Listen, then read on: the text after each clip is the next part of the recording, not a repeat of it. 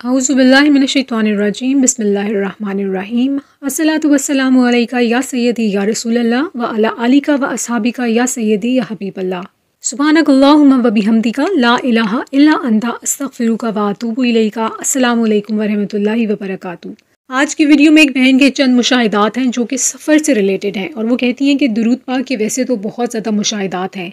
लेकिन ये ख़ास तौर पे सफ़र में जो इनके साथ बहुत ज़्यादा डिफरेंट डिफरेंट वाक़ात हुए हैरान कन, वो इन्होंने शेयर किए हैं। ये कहती हैं कि इनकी एक आदत है कि ये सफ़र के दौरान में नॉन स्टॉप यानी कि बग़ैर रुके दरूद पाक का वर्त करती रहती हैं। इनके हस्बैंड माशाल्लाह से, वो भी दौरान सफ़र दरूद पाक का वर्त करते रहते हैं और इन्होंने ये अपने बच्चों से भी पढ़वाते हैं, माशाल्लाह से। बड़े खुश नसीब पेरेंट्स हैं और बड़े खुश नसीब वालदेन हैं कि जो इस अमल में मशगूल रहते हैं, माशाल्लाह से। अल्लाह ताला हम सबको तोफ़ी कता फ़रमाए, आमीन। अच्छा ये बहन कहती हैं कि एक मरतबा इनकी जीप जो थी, ये सुनसान जगह के ऊपर मोटरवे के दरमियान में रुक गई। अब ये रुक गई है और इन लोगों को समझ नहीं आ रहा था कि हुआ क्या है। तो कहती हैं कि एक बंदा खुदा रोड से आया, भागता हुआ आया और वो कुछ भी नहीं इनको बोला। उसने हाथ से इंजन को कोई पार्ट है वो हिलाया और ऐसे वो घुमाया कि गाड़ी खुद ब खुद स्टार्ट हो गई उसके हिलाने से। और वो बग़ैर कुछ बोले, बग़ैर कुछ कहे, वो दोबारा से बंदा चला गया। हैरत की बात है ना? वो कहती हैं कि ये ज़रूर दुरूद पाक की नस्बत से उसकी बरकत से इनकी मदद हुई। तो ये एक और वाक़ शेयर करती हैं और ये कहती हैं कि एक मरतबा ये किसी गाँव में थी और वहाँ पर इनकी जो जीप है वो इसी तरह अचानक रुक गई। और गर्मी बहुत ज़्यादा थी। इनके हस्बैंड चेक तो कर रहे थे कि क्या मसला हुआ है, गाड़ी को कैसे ठीक किया जा सकता है। तो इसी तरह से एक बंदा खुदा ये कहती हैं कि आया। और वो उसने आके इन लोगों को बोला कि वो ऑटोमेटिक जीप जो है, उसका मकैनिक है। उसके हाथ में किसी किस्म का कोई औज़ार नहीं था। वो आया और उसने चंद सेकंड के अंदर अंदर इनकी जीप को स्टार्ट कर दिया। इनसे बग़ैर कोई पैसा लिए वो चला गया।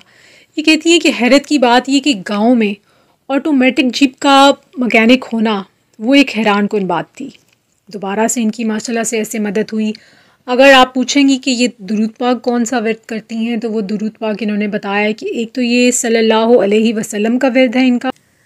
ये जो बहन दूसरा दुरूद पाक वर्द करती हैं जज़ल्लान्ना मोहम्मद माँ हुआ आहलू अच्छा इसको इस तरह से भी वर्द कर किया जाता है जज़ल्लान्ना मोहम्मद माँ हुआ आहलू जैसे आप वर्द करना चाहें। ये दुरूद पाक, इसकी जब आप फजीलत है, उसको थोड़ा सा उसके ऊपर गौर करते हैं ना तो इंसान लिटरली हैरत की वादियों में गुम हो जाता है। इसको, आपकी फ़जीलत को थोड़ा सा आपके साथ शेयर करूँगी। ये तो है कि हज़रत सैदना इबन अब्बास रज़ी तहुमा से रवायत है कि नबी पाक सल्लल्लाहु अलैहि वसल्लम ने फ़रमाया, इस दुरूद पाक के वर्द करने वाले के लिए सत्तर फरिश्ते एक हज़ार दिन तक नेकियाँ लिखते रहते हैं। सुबहान अल्लाह अब इसको इमेजिन कीजिए कि आपने एक मरतबा ये दुरूद पाक वर्द किया और सत्तर फरिश्ते कितने दिनों तक? एक हज़ार दिन तक। अब देखिए, एक साल में तकरीबन दिन होते हैं तीन सौ पैंसठ थ्री सिक्सटी फाइव ठीक हो गया? अब ये कितने दिन हैं? दिनों की बात हो रही है एक हज़ार दिन की। तकरीबन तीन चार साल समझ लें तक एक सत्तर फरिश्ते लिखते जा रहे हैं आपके लिए नेकियाँ, सिर्फ़ एक मरतबा के वर्त से।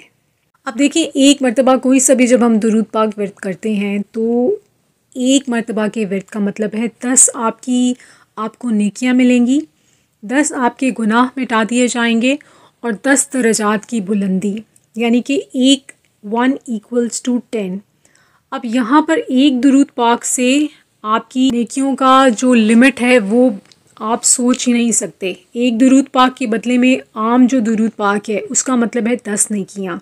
यहाँ पर एक दुरूद पाक व्यर्थ करने के एवज आपको सत्तर फरिश्ते पूरा पूरा दिन, अब कितना लंबा दिन है, वो हमारे लिहाज का दिन है।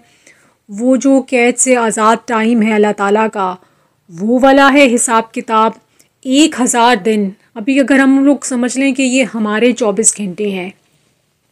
तो देखिए, फ़रिश्तों ने कोई ब्रेक नहीं लेनी। फ़रिश्तों ने ना सोना है, ना उनको खाना है। वो इस सब चीज़ों से आज़ाद हैं, जो कि इंसानों के तकाजे हैं। ठीक हो गया? तो वो यानी कि अगर आप चौबीस घंटे भी इमेजिन कर लें तो सत्तर फरिश्ते पूरे चौबीस घंटे विदाउट ब्रेक नॉन स्टॉप लिखते रहेंगे एक हज़ार दिन तक नेकियाँ उस इंसान के लिए जिसने ये वाला दुरूद पाक सिर्फ़ एक मरतबा वर्द किया। चलें, आप इमेजिन कर लें कि आपने एक मरतबा वर्द किया, उसके बाद आपने दोबारा वर्द किया। तो कितने हो गए? सत्तर फरिश्ते और अल्लाह ताला ने आपको अता फरमा देने हैं। और वो जो सेकंड आपको बैच मिलेगा सत्तर फरिश्तों का, वो अब एक हज़ार और दिनों तक आपके लिए नेकियाँ लिखते रहेंगे। यानी कि सत्तर सत्तर फरिश्तों की जो जमात है, वो आपके लिए वक्फ होती जाएगी। और वो एक हज़ार दिन, दो हज़ार, तीन हज़ार मतलब कितने हज़ार दिन हैं। इन दिनों को आप डिवाइड कर लें सालों के ऊपर, यानी कि कितने साल तक। आपके लिए फ़रिश्तों की, अब आपकी मर्ज़ी है कि अल्लाह ताला कितनी तौफ़ी आपको इनायत फरमाता है कि आप फ़रिश्तों की जमात आपके लिए वक्फ़ होती जाए। एक जमात में सत्तर फ़रिश्ते। इस चीज़ को अगर आप थोड़ी देर बैठ के बैठ के सोचते रहें ना तो इंसान बस परेशान, हैरान हो जाता है कि ये दरूद पाक जिससे मैं कहती हूँ कि ये दरूद पाक हैरत का दाए इंसान हैरत के समंदर में गौताजन होता रहता है, जैसे जैसे दरूद पाक की दुनिया खुलती रहती है। कभी इंसान के अपने मुशाहे होते हैं, कभी दूसरों के मुशाहे होते हैं। और अगर आप सिर्फ़ मुशाहदत, मुशाहदात को साइड पर रख कर सिर्फ़ फजीलत के ऊपर गौर करते रहें तो इंसान बस बैठ के सिर्फ़ हैरान होता है। सुबहान अल्लाह सुबहान अल्लाह सुबहान अल्लाह अल्हम्दुलिल्लाह व शुक्रनल्ला ये कलिमात मुँह से निकलने बंद ही ना हो।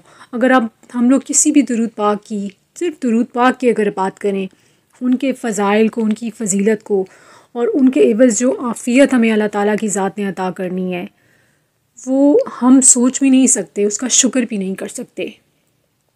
एक तरीका है और वो सिर्फ़ ये है कि दरूद पाक वर्त करते रहें। चाहे ये वाला दरूद पाक वर्त कर लें, जो भी दरूद पाक आप वर्त करेंगे ना, वो नूर ही नूर है और वो अता ही अता है। बस दरूद पाक से आप जुड़ जाएँ। दरूद पाक व्यर्थ करते रहें, दरूद पाक व्यर्थ करवाते रहें। एक करोड़ की नियत करते और करवाते जाएँ और दुआ में पूरी उम्मत को याद रखिए, ख़ास तौर पे अहले फ़लस्तीन के लिए, गज़ा के लिए, रफ़ा के लिए। अहले यमन के लिए जो जो जहाँ जहाँ जुल्म, सितम का शिकार है, उन सबको दुआ में याद रखिए और दुआ में पूरी उम्मत को याद रखिए। जब भी नमाज़ पढ़ें, नमाज़ के अलावा भी जब भी दुआ के लिए हाथ उठाएँ, सबको दुआ में याद रखें। सब एक दूसरे के लिए दुआ करें। इजाज़त दीजिए। असलात वसलाम या सैदी या रसूल अल्लाह व अला आली का व असहाबी का या सैदी या हबीब अल्लाह